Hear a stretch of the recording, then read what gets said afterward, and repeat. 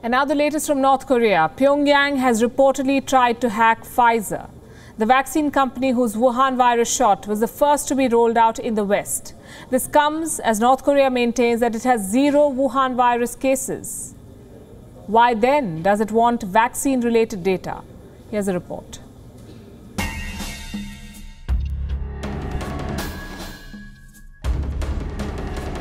Did North Korea try to hack the Pfizer vaccine?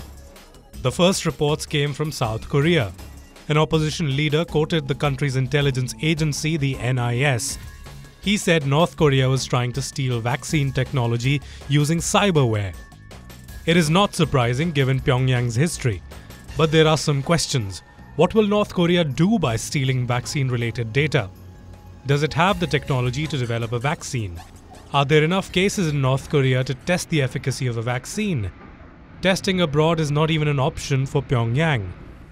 Does it have the infrastructure to manufacture a vaccine on a large scale?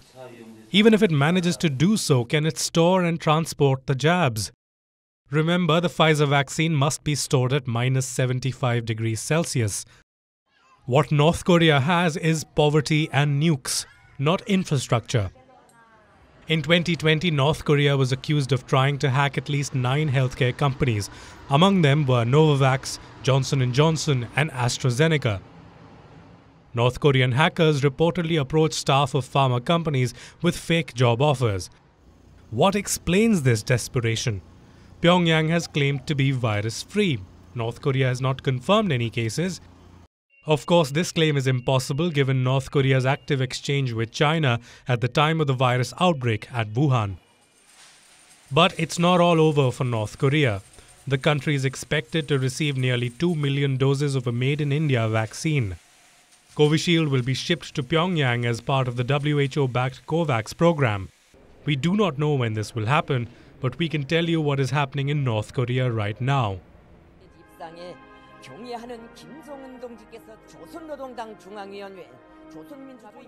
The country is celebrating the 79th birth anniversary of its late supreme leader Kim Jong il.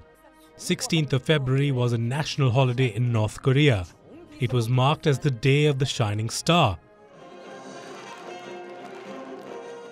There was a concert at Pyongyang's Mansudae Art Theatre, and look who spotted attending the gala. Kim Jong un's wife, Ri Sol Ju this was her first public appearance in more than a year.